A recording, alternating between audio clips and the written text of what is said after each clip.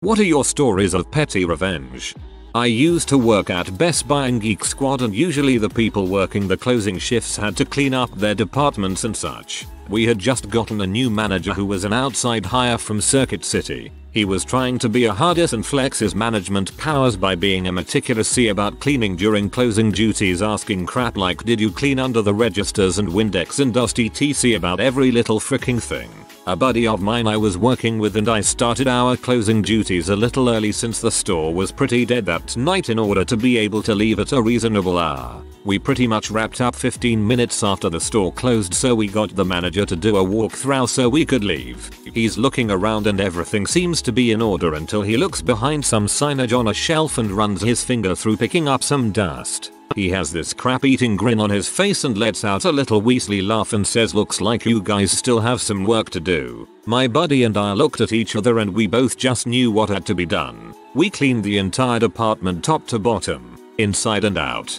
Every drawer was emptied, dusted, wiped down, brochures organized. Every computer in the back was moved and the shelves were dusted and wiped. Floors were vacuumed twice. Top stock was neatly arranged. Every inch of the department was gone over with a fine tooth comb. Twice in some spots just to take longer. 10pm turned into midnight. Everyone else was long gone except for us three. He was looking weary and tired. Midnight turned into 2am and we were still going at it when he finally came out of the office red-eyed and exhausted and said guys, let's go. But we still haven't dusted under the counters and, it's fine. Let's go. Buddy and I took our sweet time gathering our things and clocking out. We both were also off the next day and C manager had to be in early for a conference call so it made it all that much better.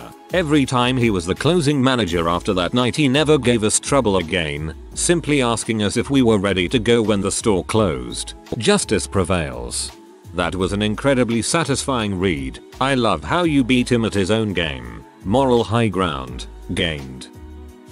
Whenever I was at work I would keep an eye on some of the coins I had in my till drawer that weren't legal tender in my country. I would then give these to customers who were buttholes to me in their change. Muahaha. Working in a corner store in Australia I always have Kiwi currency in there. I always make a note to only give them to New Zealanders. There certainly isn't a shortage of either one in Brisbane.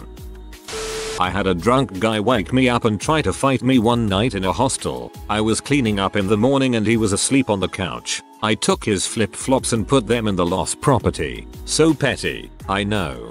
Perfect. You are a crusader. Did something similar to some buttholes in college who like to play 12am hall soccer and break the hallway fluorescents.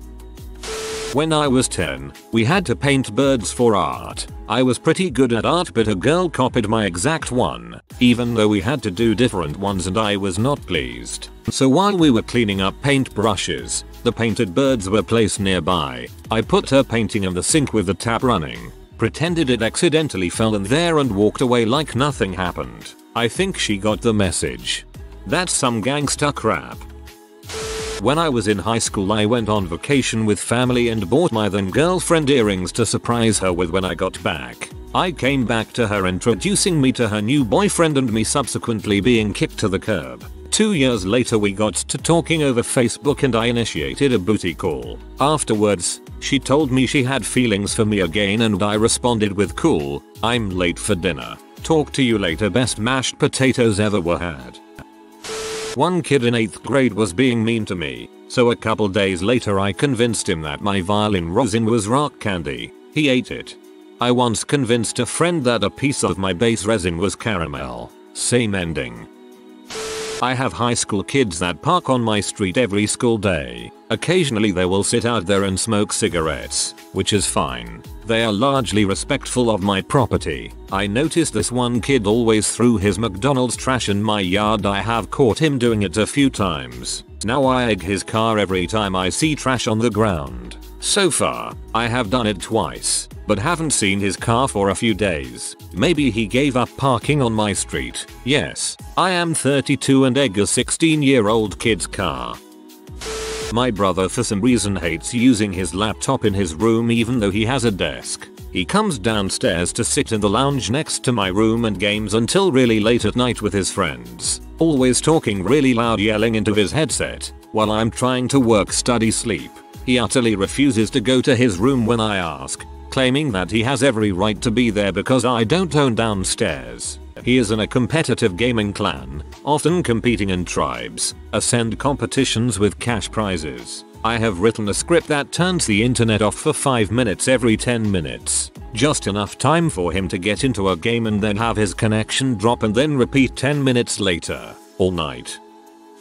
At my previous job I worked with a story topper, you know, she did it way better, cooler, and sooner than everyone else. She even started using my stories. I was very irritated. I started taking a pen or two a week from her desk. Sometimes it was some little doodad. I would casually snatch an item then take it to the men's bathroom where I would put it into a hole near the sink pipes. It sounds stupid, but it made me feel like a bad butt. I wish I could be there when they have to repair that sink and find all of her supplies in that wall.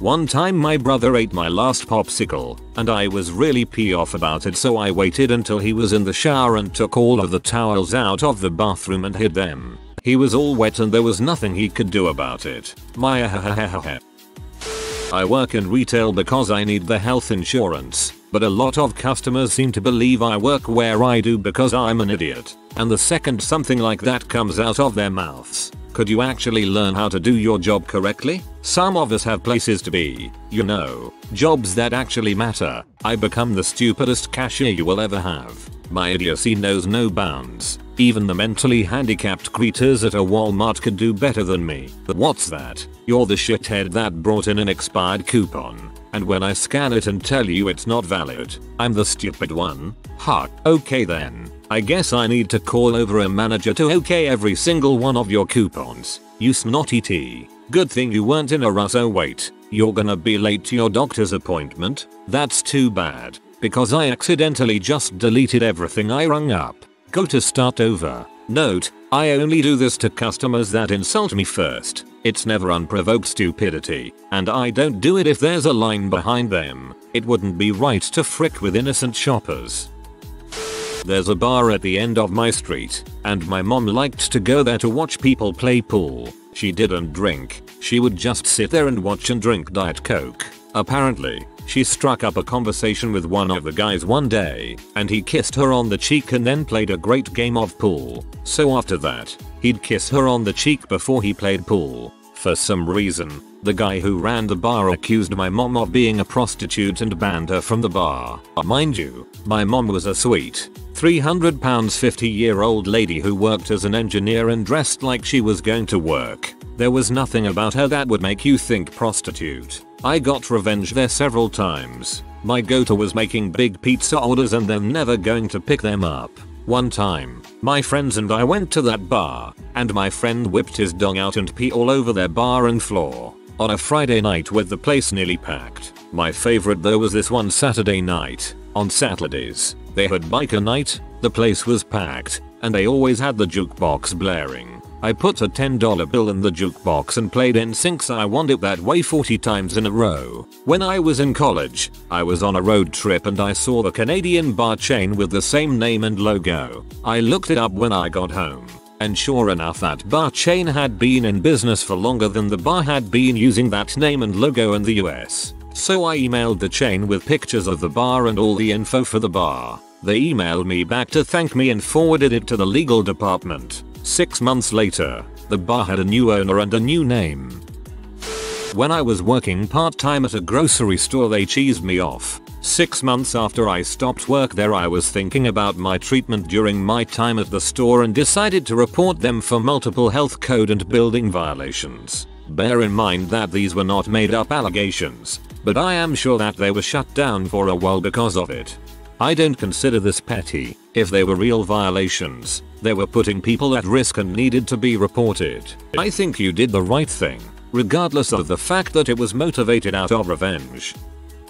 It was my first day back in my third grade class after being out sick for nearly a week with the stomach flu. I started feeling sick during story time after lunch and raised my hand to ask to go to the bathroom. Teacher told me to put my hand down and shushed me when I tried to protest. Cue this happening 3 more times or so and after the last one I just proceeded to vomit all over the classroom floor, which was carpeted. My daughter did this to her teacher, I had previously warned her that my kid is her usual cheery self, even when sick, but knew Mrs. Teacher is a professional with years of experience and cannot be fooled. She later admitted she thought child was faking it until she vomited all over the classroom.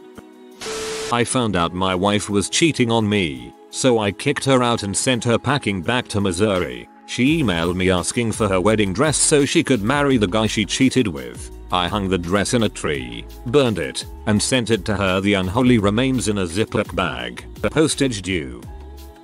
One time at a Boy Scout meeting, I was probably 10 at the time, my sister was there cause my mom was real involved. We were all playing a game and some kid implied that my sister was inferior cause she was a girl. Later on that kid was playing football and from the other side of the table I rammed one of the rods for operating the little guys into his stomach as hard as I could. No one picks on my sister but me. This guy I considered somewhat of a friend started dating my ex a week after we broke up. Jokes on him because I still haven't accepted his friend request on Facebook. Leaving them in friend limbo for eternity. I always smile knowing my public posts reach their news feed, but they can't comment or like it, and that's when they realize it. In kindergarten, it was my turn to pick out the book for story time. However, the teacher forgot and picked the kid next to me instead. I think his name was Dave. So, I screamed a lot and hit Dave in the head with a toy truck, then called the teacher and butthole. Teacher, Dave, you get to pick the story. Dave, okay, you. I'm sorry, Dave. I can't let you do that bludgeons Dave with a toy truck. If a customer is mean to me, I slam their coffers down. I also walk slower when doing things for them and give them the smallest cookies. I work in a movie theater, and anytime some butthole parent is being a dong, I ask loudly if they would like to add any candy to their order, knowing their kids are going to beg them for it. When my daughter was about 5 months old, I made an excursion to Hub to get necessities. I was tired and had baby clarity with me. I patiently waited for one of those parent with child parking spots and acknowledged the mom loading up with a tired smile and wave. As she pulled her minivan out of her spot this old lady in a Jaguar whips around me and into the spot. I was beyond infuriated. I just sat there shocked. So I pulled into another spot and waited. Waited for my daughter to fill up her diaper. I left that be a dirty diaper under her windshield wiper. Those last lines would make a great rap. My former employer is a well-known pizza joint that treats its employees terribly. I left and took another job and for a couple years afterwards I will still make large online orders for pickup that I never intend to get. I love people like you. I work at a pizza place and we get to take home all those pizzas that no one picked up. Wiener Poop 2012 this bee was speeding through the parking lot at my apartment and nearly hit some dude walking his dog a little ways up from me. Being the classy gal that I am, when BS car zoomed by me, I reared back like a cobra, hawked up the biggest, greenest wad of phlegm and hawked it right onto her windshield. I had gotten into my car to go run errands when B comes flying back around the corner, slams her car in park, and starts advancing screaming. Did you spit on my car instead of looking incredulous or confused and dissolving the situation? I blew her a kiss. I drove off with her wailing and chasing me down the street trying to punch my window in. One of my finer moments. Freaking brilliant. When I was in preschool, this kid Luke told the teacher I was scribbling while we were drawing. I put Legos in his shoes. This is a fate worse than death. You have assaulted someone with the pain of a thousand thousand drug-free root canals. I work on a bar, and any customer who is inbound to me, I fill their glass with ice so they get less drink, or give them a small piece of lemon. Inside I feel like I've given them a massive frick you. Conversely anyone who is nice gets doubles for the price of singles and the largest lemon slices. I used to work at Subway. We would always have this regular customer come in and complain about every little thing such as not enough tomatoes on my sandwich, etc. I knew she was a regular and I knew who she was, but every time she would come she would only bring in her checkbook, not her purse. I, being the model employee, would purposely make her go back out to her car for her driver's license, which she would dig for for 10 minutes, and come up with two phone numbers while her sandwich got cold. Ah, this happened just yesterday. I was driving on a side street, speed limit of 40 miles per hour but there are a lot of school zones, so it is frequently 25 mph. And there was a crazy driver coming up behind me, weaving through traffic, speeding, ignoring school zones, and just being a terrible driver, all in all, I am driving next to a truck, and I look over at him, he nods his head, and I do the same, and we when this douchebag comes up behind us, we go the same speed, the speed limit, until we hit the highway, about 5 miles. The douche behind us was raging in the mirror and weaving back and forth. Looking back, I feel kinda bad, but we have had a lot of accidents lately, where people are ignoring the school zones and kids have been hit crossing the street, so I don't feel that bad. Ah, my favorite driving game. Box in the butthole. When you make that non-verbal connection with other drivers and wordlessly agree to block that jerk from cutting anyone else off, it's a beautiful thing. I hated my old roommate with a passion. She used to think her 10 week old puppy was peeing on her pile of clean clothes. It wasn't the puppy. I feel like right now is the time to share the reasons why you hated her with a passion, because at this point you're the insane roommate, not her. Last night, I went to my boyfriend's for Halloween. He's in student accommodation, and one of the girls on his floor has developed quite the desire for him. She doesn't seem to consider my existence in all this, and quite simply, I wanted to show her that why yes, he does have a girlfriend. So, even though everyone else was also free, I asked her to take a cute couple wife photo of us in our costumes, to sorta drive home the point that he's mine. Not as bad as some in this thread, but still quite petty. You could pee all over him or in a circle around him. Kinda mark your territory. My brother's girlfriend had annoyed me by criticizing some of my life choices and then demanding I apologize to her. So I went to the bathroom while she was over and used all but the last two squares of toilet paper when I knew she would be using the toilet soon. Very petty, and quite possibly the most passive aggressive thing I've ever done. Had a co-worker who would eat people's food, even leftovers, out of the work fridge. We put cat crap in a burrito and he didn't realize something was weird till about 3 bites in. Oh I cringed. Blue. I rubber banded a co-worker's desk drawer so it would slam shut when he opened it. I intended to pee him off. I did not intend on breaking his finger. Score for me?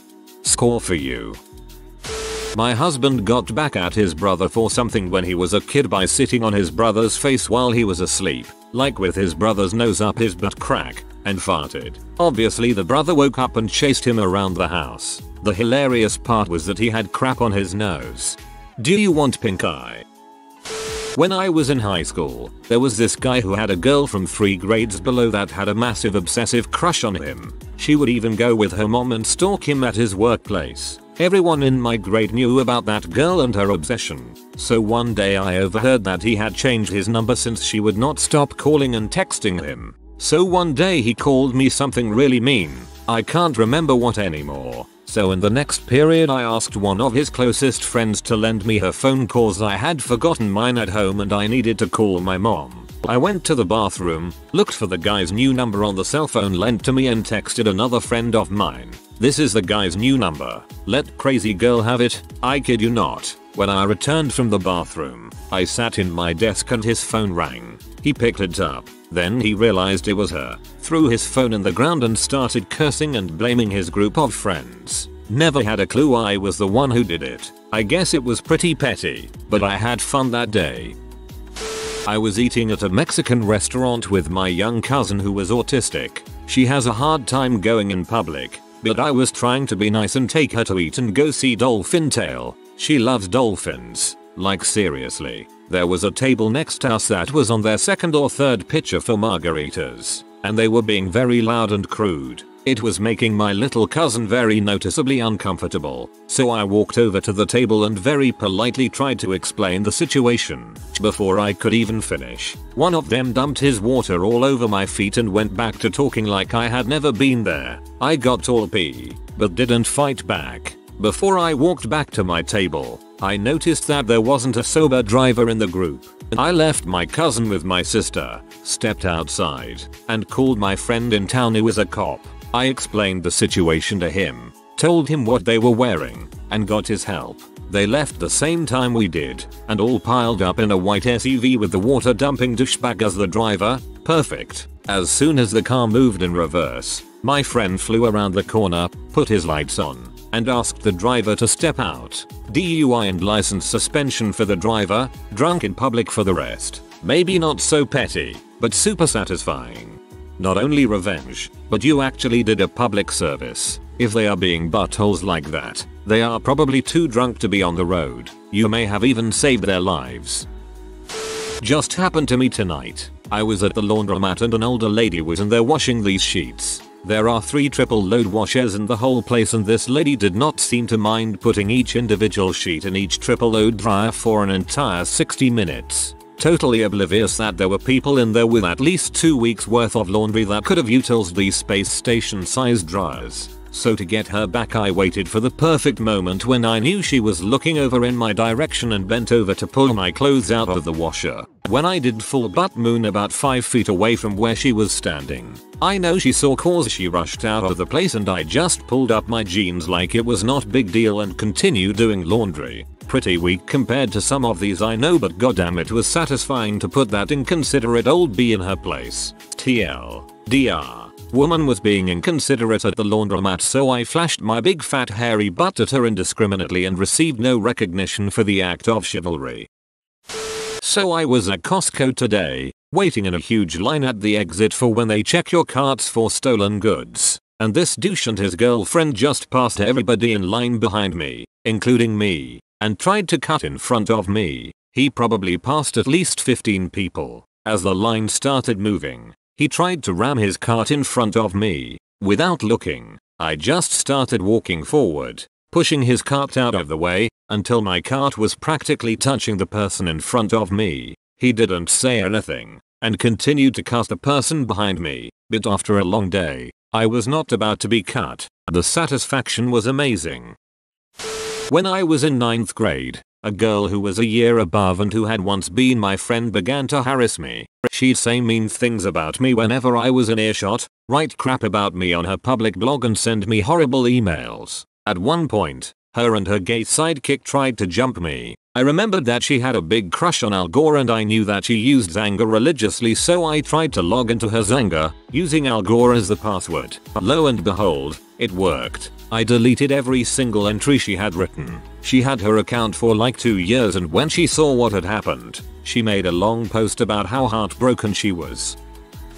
Woman came into the frozen yogurt shop where I was working. She let her bratty kid run around. Mildly annoying. More annoying was that she let her kid disrespect and walk all over his grandma who was with them. She was also really rude and talked down to all my staff. When she went to the bathroom the kid jumped up on the counter and stuck his hand in the toppings. So I gave him an entire cup full of M&Ms. When she came back from the bathroom her little sucker was in a frenzy with the candy. Boy was she pee. But the little monster went into a complete rage when she took the candy from him. It got so bad and shameful that she had to literally drag him out.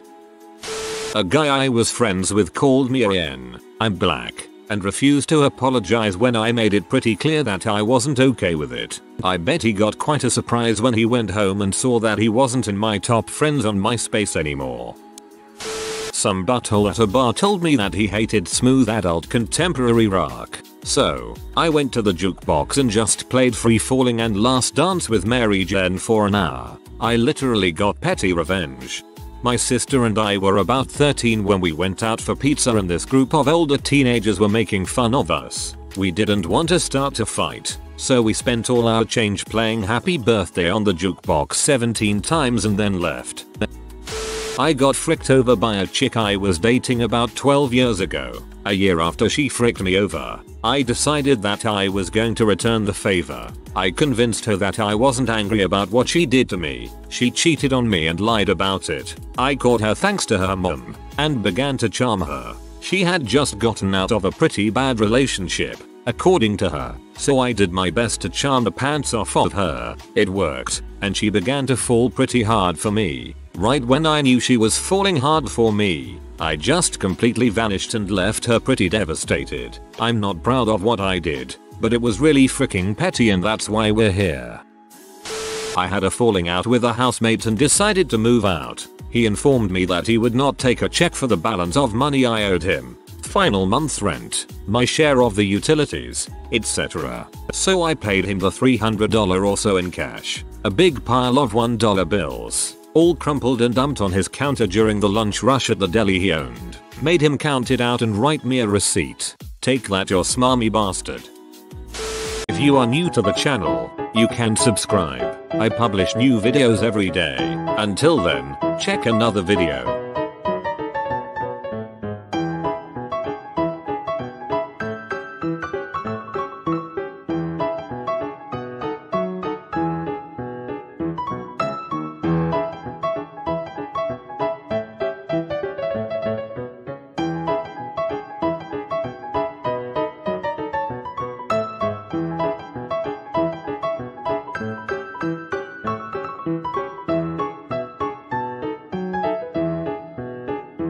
Bye for now.